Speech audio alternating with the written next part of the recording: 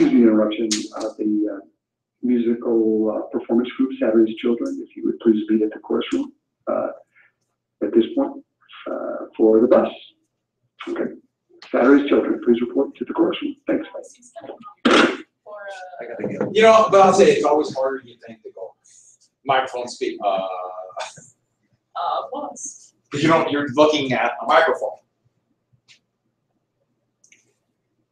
A couple things, first off, so what's gonna happen is, all your teachers who talk about this, and your professors, or anybody else who take anything like this, they've all been molded by the Cold War.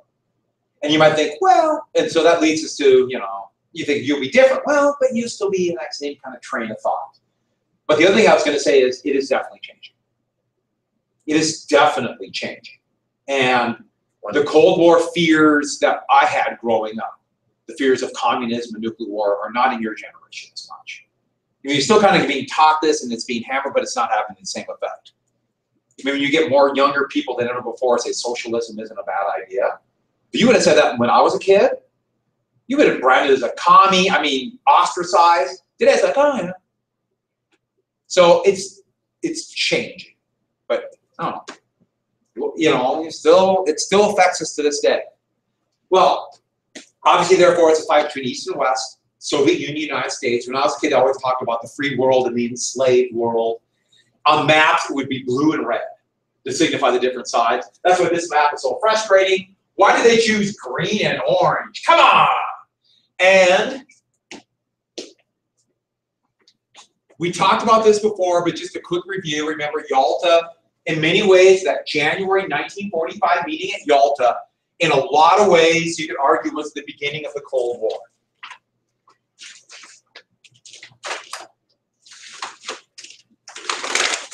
Yeah, this map, purple and green. Really? When I was a kid, it was always red and green, or red and blue. Always. All these maps in every magazine, everything else. Well, Yalta yeah, that was red and green, it's like same outcome.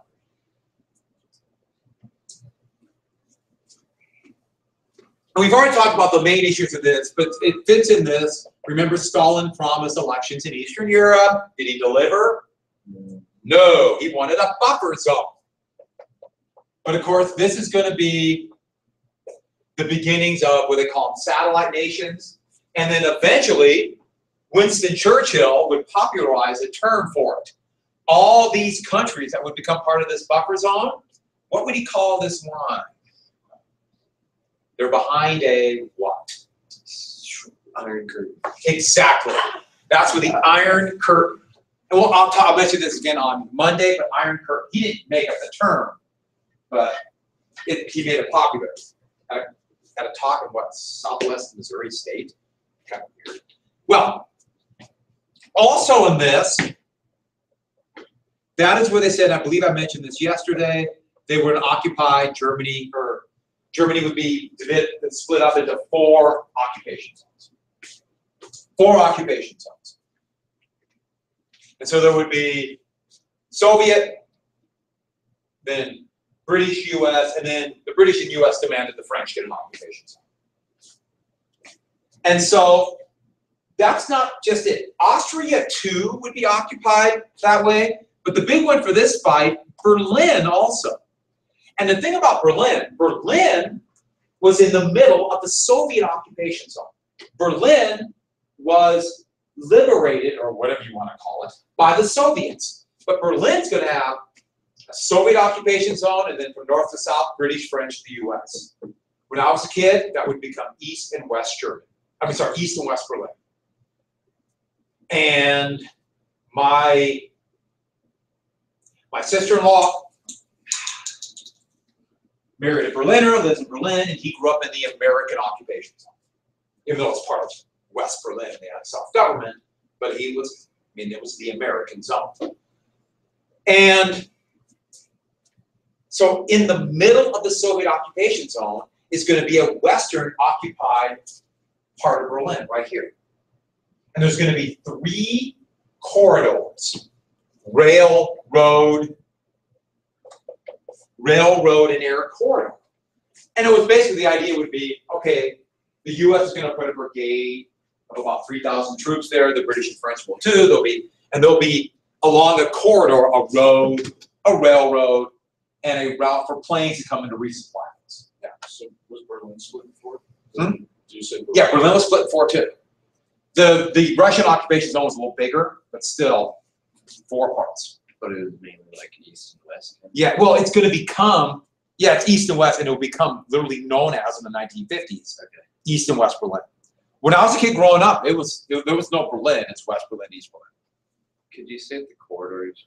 The corridors are gonna be land and air routes to the western occupied, occupation zones. So basically, what a corridor, basically what's, this road would be the British road, this road would be the American road, this road would be the French road, to bring in supplies for their troops.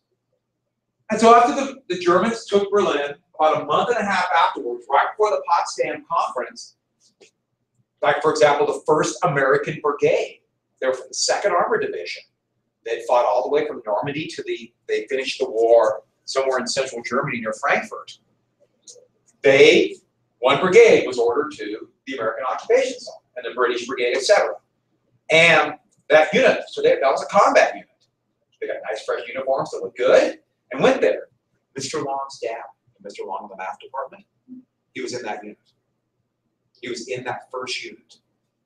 And so the, the Russians all glared at him. And one funny thing about that, so the Russians liberate the city, Berlin was in ruins. Horrific fighting in like the Reichstag building. And then there's this big park called the Tiergarten that was just, you know, this shell pockmarked place. So the Russians had this ruined town. The first thing they did before the other countries came, so we're talking VE Day, May 8th. End of June, the British, Americans, and French are coming for their occupation zones. In that month, they built a massive memorial to the Soviet liberation of Berlin, to the Soviet army, in this big park by the Reichstag. It's within inside of the German capital today. This big Soviet memorial with hammer and sickle, and they have the first two Soviet tanks to enter the Berlin, supposedly in a big statue of a soldier, big columns. It's huge. And they built it right away. First, they built nothing else first in the British occupation zone. So when they pulled out, the British had the Soviet memorial, which I think is really funny. If you go there today, the Germans keep it immaculate. This big memorial for the Soviets. There's even a bigger, what, 50 acre memorial too that the Soviets built. But here, now the thing was, the idea was eventually they'd come to unification. There'd be unification somewhere. The four parties, the four countries who occupied, were supposed to come together. They literally called them the four party talks. And they would talk unification. And there was a real worry because this is what you, I've said this before, can't forget this.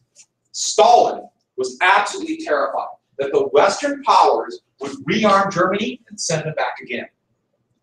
He believed with some justification that it was the plan of the West, and kind of was for Churchill, that Stalin and Hitler would destroy each other, and then Britain and the United States would emerge into the power vacuum relatively unscathed, while these areas were destroyed. He was just convinced they were going to do it. He was incredibly paranoid. That's why I wanted this buffer zone. Also promised were reparations.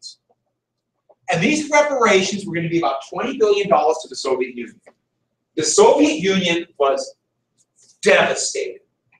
This area here, and also the areas under soon to be their satellite nations behind the Iron Curtain, destroyed by war, absolutely impoverished. Most of the 30 million refugees in Europe were from here.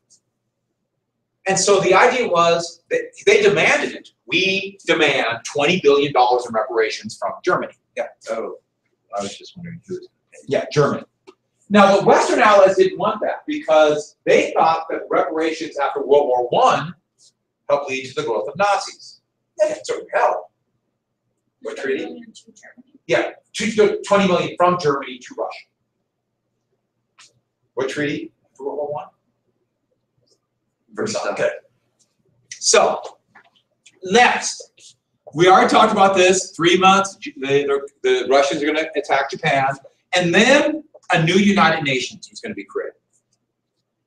And they knew there's going to be all kinds of war issues. The United Nations, though, would try to solve the problems that What else is in the, after World War One? US didn't join, trying to be a failure. League of Nations. League of Nations, good, yeah. So was this decided at Yalta? Yeah, all this at Yalta. All this is at Yalta.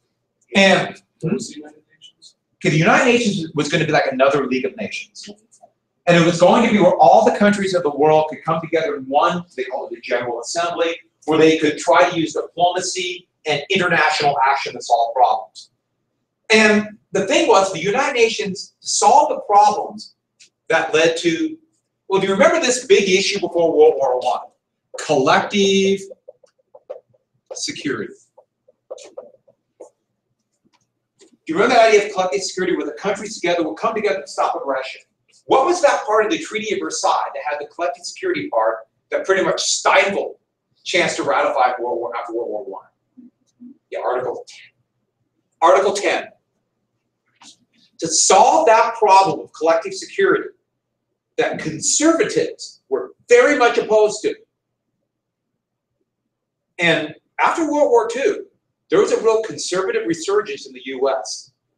Isolationists, let's not fight again. How do we get countries like, and also Britain, Britain had the same element there. It's called the Security Council. And this is going to be within the United Nations, and they make all the major decisions, especially about collective security. They're the ones who rule if there is actually aggression that must be stopped. And so, it's taken out of the hands of the General Assembly. At first, it was only 11, now it's 15 members. And five are permanent, the rest rotate. Five permanent members, and they all have a veto. So therefore, a country of those, the great powers, cannot be forced. Now, clearly, it's not going to be Germany Japan will be one of these permanent members, even though that's an issue today. Consider the power of those two countries. The U.S. will be one of those five. The Soviets are the other. What are the other three? Britain, France, Switzerland, Finland, Spain, Italy, China. No, we beat them. China, China. China. And China actually was a country that had been devastated by World War II. And they were actually kind of a, they fought a civil war right before World War II and they would fight a civil war after. It was not a strong country, but the US, Roosevelt wanted China to be a strong country in Asia, somebody who's not Japan or Russia. Yeah. Uh, so the Security Council like ran everything, including. The, the big decisions came out of the Security Council. The General Assembly actually has no real power. So the assembly of all the states, you know, all, what, 197 states or 198 states today, countries? I think it's 190. I think it's, wow. Or not. Do just those five get the veto? Yeah, only those five. Well, the thing is, okay, so the US ratified this treaty, the US became part of the United Nations, unlike the League of Nations, but what kind of things would pass the Security Council? What would pass in it? What would pass the Security Council if five countries have a veto? What kind of things? Nothing. Yeah, nothing controversial ever passes the Security Council. Almost nothing ever, ever passes the Security Council, because one of these five countries will veto it. Think about the Cold War. The US, the Britain, or US, Britain, or France would veto everything that might favor the Soviet Union or China, China, or I'm sorry, not China, Soviet Union. Soviet Union will veto everything everything that the West might want. So that is why, to this day, because of that dynamic, the United Nations is very. It has, can do some little things, but it, it- but a power, the United Nations is, is always weak because of these. Yeah. So it only takes one of these countries to veto. Only one. So like, for example, the, one of the biggest issues from the United Nations is about Israel, the area that they occupied, uh, that they took from Jordan and Syria and Egypt, Gaza and the West Bank. They still occupy them since nineteen sixty-seven. It's a big issue. Every time there's anything to do about Israel remaining there, the US vetoes it. Immediate veto, nothing happens. So if anybody says the United Nations too strong, or in the nineties, this was a big deal. Talk of the UN taking over the, the world, and black helicopters from the United Nations are taking over the US. Not kidding, people said this. That's ridiculous. The UN, the UN has no power. Well, all this came out of Yalta. FDR really believed that he could like charm or Stalin. And FDR had one thing, looking back, it seems ridiculous, but everybody almost was like this. Regardless of how ill he was that January, he could not comprehend that he would die. And so he just he just assumed, even after the war, yeah, Stalin can't be trusted with me. I'll make sure he does what he wants. You know, people, you know, it's hard. I have great sympathy, you know, it's, you just don't think it's gonna happen. So in April, when he did die, you can imagine how the next president came in totally unprepared. Heck, he didn't even know about what's the program, the program to build the atomic bomb. Manhattan Project. Truman didn't know about it till the next day after he found out he was the president. In fact, he was a compromise choice, and no one even knew who, who the heck Truman was outside of his home state of Missouri. And so he was totally unprepared. But one thing's going to come out of this FDR is going to be seen more and more as being outmaneuvered. Stalin tricked him, stole from Yalta. Yalta was this really big pro, really big pro-communist saying. A lot of people started saying this, that Yalta was really pro-communist and FDR was either outmaneuvered and tricked because he was old or badly informed, or maybe FDR was really a what? A communist. And this idea that we had this communist element within. And especially a more conservative element especially Republicans. Why Republicans? Because they've been out of office since 1932.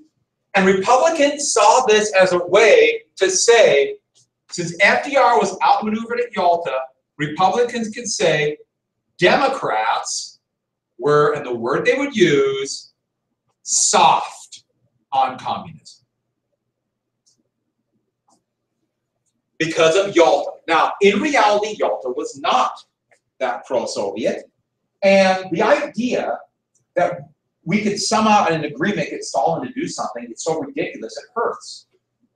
Stalin had the biggest army in the world. What are we going to do? Attack the Soviet Union because he will not allow free elections in Hungary? Well, we would prove in 1956. No, we're not going to do that in Hungary. Something like that will happen. You're going to blow the world up for Hungary? Sorry, Hungary. I like Hungary. But it won't happen. It's ridiculous to say that. But Yalta is going to become what's the symbol of appeasement before World War II? What city? Munich. Munich.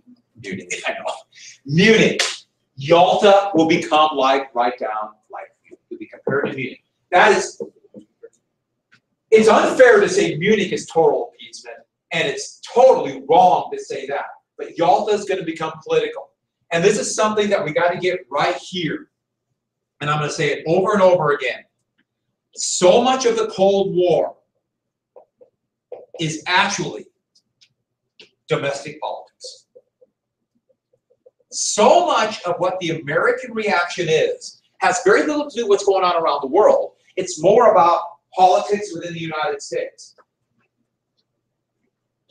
Everybody trying to prove they're not soft on communism. Everybody's trying to prove they're tough. Everyone's going to say they're going to stand up to Stalin or whoever's coming after it. And you'll see the same thing and that same idea would happen. This is a new thing after World War II. It wasn't like this until World War II, after World War II. Terrorism. Same thing. Got to prove you're tough on terrorism. The same idea. That's why the Cold War legacy goes on through today. And so, Yalta, just, just so we don't forget, July of 45, that's that last wartime agreement. It really was a wartime agreement. Potsdam, and remember this is a Potsdam where a couple things happened. What did Truman tell Stalin happened? Yeah, and it worked. and why was Stalin surprised? And he had spies who gave him the plans. Very good. And what did Stalin tell Truman? And, and well, Atwood, huh? well, actually, that's for the bomb. Oh, good. Hope you use it. What did he say about Eastern Europe? What did Stalin say about Eastern Europe? What? Oh, he said there won't be. We're not going to do it. What can we do? And see, that's the thing.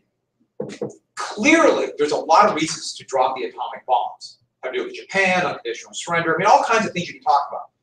But that issue of Russia still is a big issue. You know, very rarely is there any decision made that's just black and white. You know, this happened to this happened. This happened because of this. There can be a lot of different reasons and considerations and motivations, and people tend to be. This might blow you away. Human. They sometimes make emotional decisions based upon fear or based upon trying to look tough, based upon any sort of any number of things, personal gain. So Potsdam, you could argue that it was really a Cold War. If you get a chance, go to where they met. It's really cool. There's still the big red star that Stalin had planned to make sure everyone knew that the Soviets made this. It's a red star, red star out of flower, red star out of flowers. It's really cool. It's a neat place. It's really it's um, Potsdam is a, is a is a great place. Should we go? Yeah, where is Potsdam? Just outside of Berlin, and they have the big palace where the Prussian kings were. It's kind of like a mini Versailles.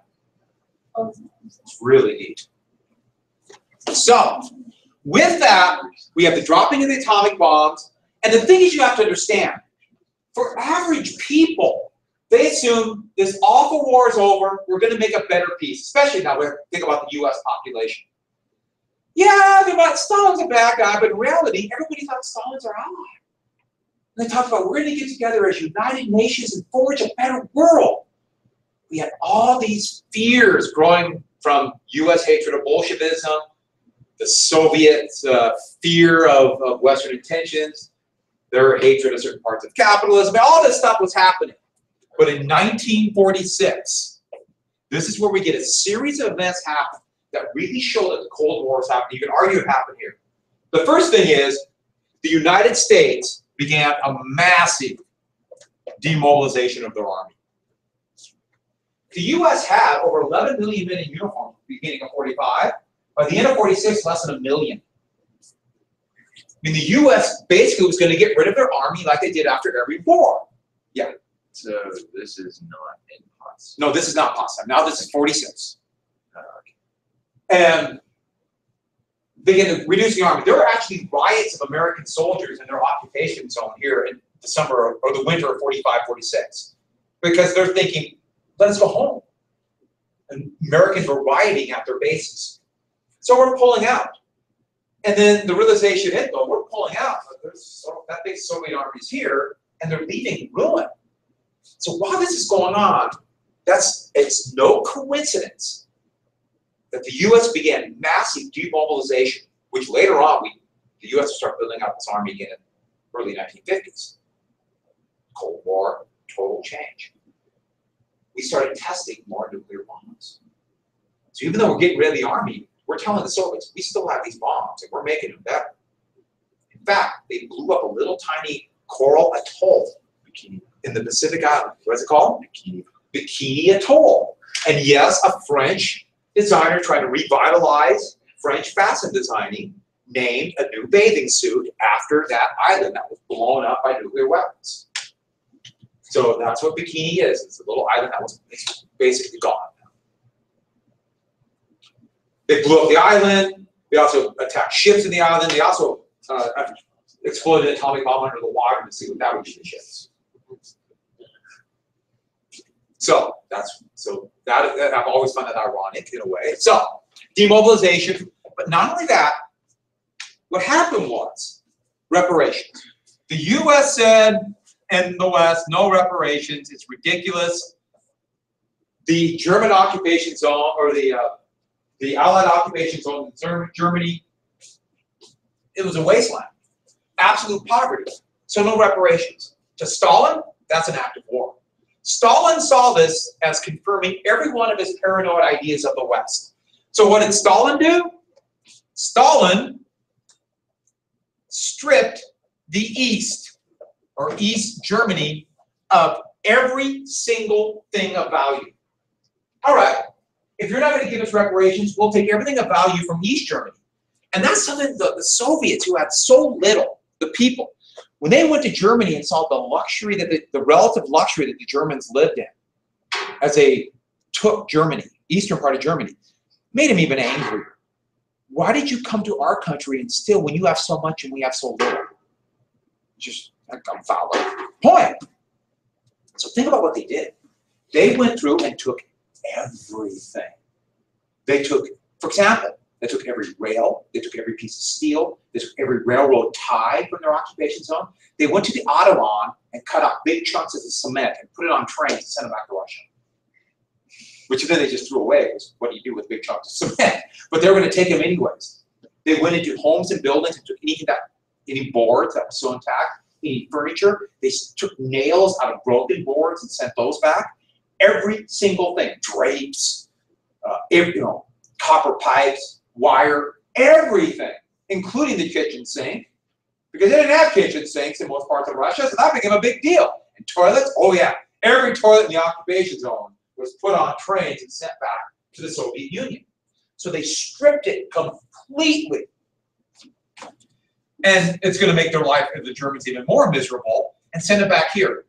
Well, to the American point of view, this is important to think about. Okay, they're setting up puppet governments. Now they're stripping it.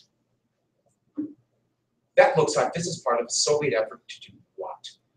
They're not creating a buffer zone because they're fearful of invasion. They're doing this because what's the plan? Keep going. Keep going. Get it all.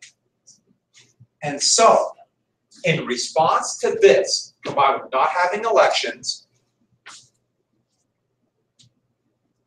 Truman. Oh, I almost forgot one more thing before that. Berlin, the Western occupation zones of Berlin had to have these roads going through the Russian occupation zone.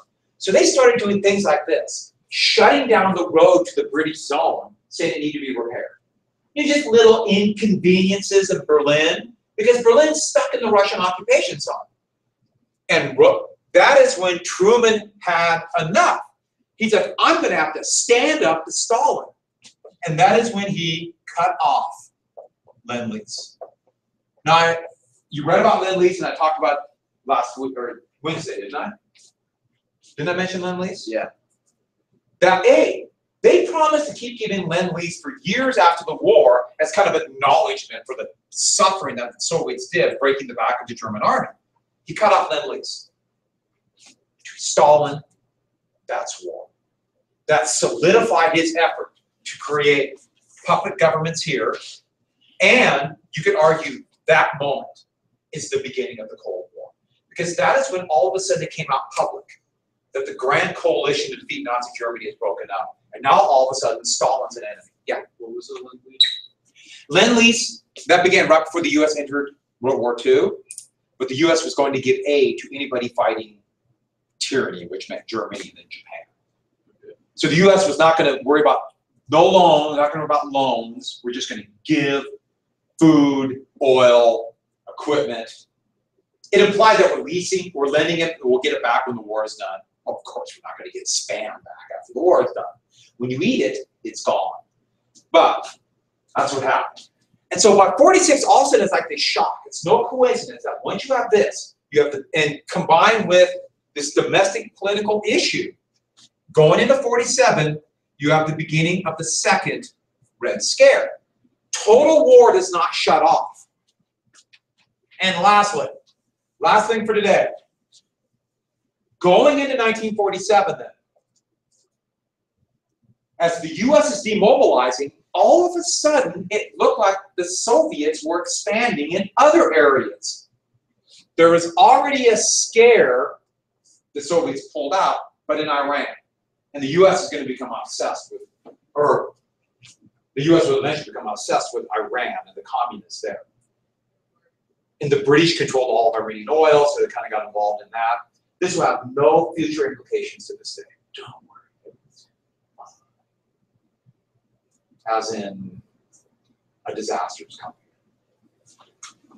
But Greece was the biggie. After the war, Britain put in a military dictatorship in Greece. Britain wanted to make sure that Greece would be loyal or friends of of Britain. The reason why they put in a military dictatorship there is because this, almost immediately, they started fighting a very active communist, sorry, guerrilla force. These communist guerrillas had fought the Nazis who occupied it in 41, and now they're fighting this military dictatorship. And that's why they didn't want a democracy, because they thought the communists would win. Now, in 1947, Britain, that was just, yeah, Okay, why could they put a military dictatorship in Greece if Greece was no, Greece wasn't neutral. uh, In World War II, Germany took Greece in 1941. World War One, they were neutral. Well, 1947, last thing for today, Britain informed the United States, we can't afford to pay for this dictatorship. The communists will take over Greece. This is one of these moments, looking back, where you go, think about, think about it before you leave. Think before you leave.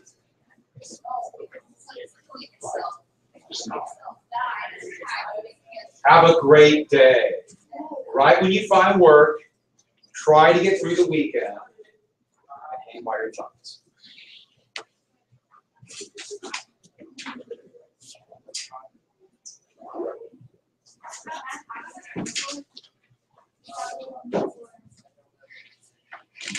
Is it a nice pencil? Can I have it? Yes, you can have it. I'll see why not. I thought you like borrowed my. So the second grade score was just And we'll mention it again, but it's McCarthyism. McCarthy. We become, English thing on that. it become, you know, really, yeah, it makes sense in AP lit, or AP language. Uh, no. No? Regular English. Good. Yeah.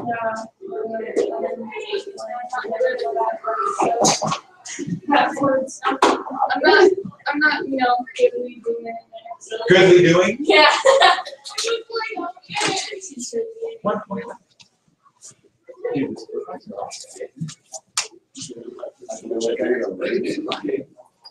feel like it's not close up there. Well, it's not, I mean, there's, because it's not like it.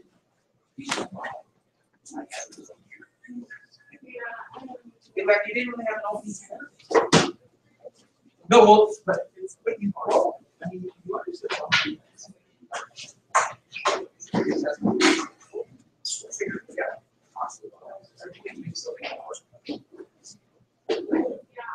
You even told me that, I was like.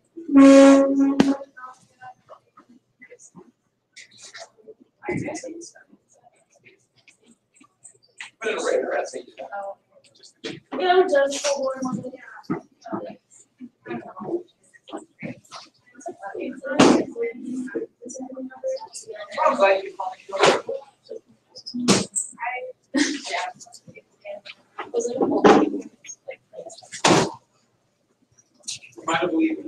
Yeah, I Have a good weekend. So I guess I can, do you want me to do my thing today? Yeah, but we're gonna finish everything on Jonestown. Do you have time again? Sound good? Because I kinda wanna get that done. We stopped right at a key moment, didn't we? Oh, Yeah. Like, I can't even remember what the key moment was, I remember I was so disappointed when we pressed pause. No, what I know, it's like, you passed a note. Oh, yeah. They passed it out. Actually, I'm sitting there watching the clock and I'm thinking, I hope, I, I wanna stop like five minutes left. And I was saying, please time out, 'cause I knew that part was coming. That'd be a great spot to stop. It's like all I- Do you like the video? Oh, yeah. And then I like- And didn't it become awful really quick? And you're going, oh my goodness, what an awful man. It was really, yeah, that's, that's the first part, I was like, Did I this lie? isn't that bad, like, I might have joined. And then the second part, oh my god. At first, he just seemed like someone who's just mentally distressed, you know, very, very mentally distressed. No, but like. so- And that one scene about when he's, they're humiliating that woman, and he's kind of looking over his glasses, and the way he did that, I thought, oh, what an awful So why does he wear glasses all the time? Just to like. Oh, we're so feminists.